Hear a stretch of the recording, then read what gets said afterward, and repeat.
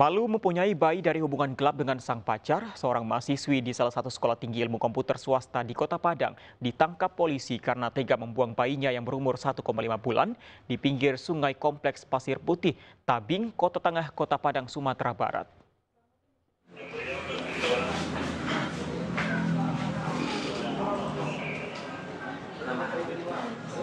Wanita ini tertunduk malu akibat perbuatannya yang berani berbuat namun tidak mau bertanggung jawab. Perempuan ini merupakan mahasiswi di Sekolah Tinggi Ilmu Komputer swasta yang ada di Kota Padang, Sumatera Barat. Pelaku ditangkap petugas kepolisian sektor Kota Tengah karena tega membuang bayinya sendiri akibat hubungan gelap dengan kekasihnya. Akibat tidak mau menanggung malu, bayi berumur 1,5 bulan dibuang di pinggir sungai kompleks Pasir Putih, Tabing, Kecamatan Kota Tengah, Kota Padang. Kondisi bayi sehat usai diamankan oleh warga dan diserahkan ke Rumah Sakit Bayangkara untuk mendapat perawatan.